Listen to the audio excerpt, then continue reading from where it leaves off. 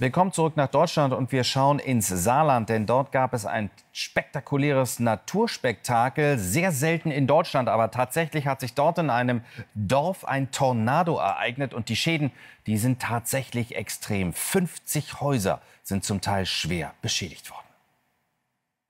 Es beginnt harmlos mit Wind und Regen. Plötzlich entwickelt sich ein Tornado. Spitzengeschwindigkeit 250 Kilometer pro Stunde. Szenen wie aus einem Actionfilm. Die Schäden in Urexweiler im Saarland sind riesig.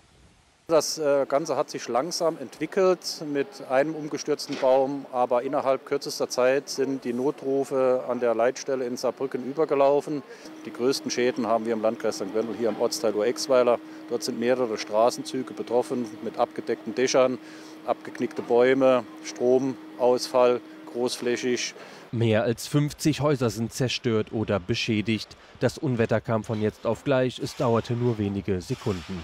Plötzlich die Bäume, die gehen einfach ganz schnell und plötzlich flieht Eis weg, Fenster kracht in und ich erschrecke nur, ich weiß nicht, was ich machen soll. Der war schon heftig gewesen und ich glaube, fünf Minuten später haben die Bäume, was ich als rausgeschaut habe, die Bäume schon äh, ja, auf äh, ja, fast gelegen. Äh, hin am Haus alles weg, Bäume, ein Walnussbaum, Apfelbaum, Tannenbaum weggefallen und hier beim Nachbarn ist die Garage total weg.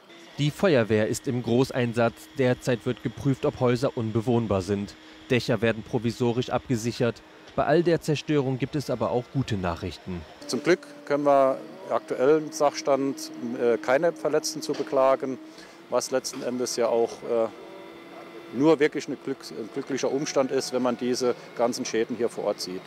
Gemeinsam wird jetzt in Urexweiler angepackt. Einen Sturm solcher Ausmaße hat es hier zuvor noch nicht gegeben.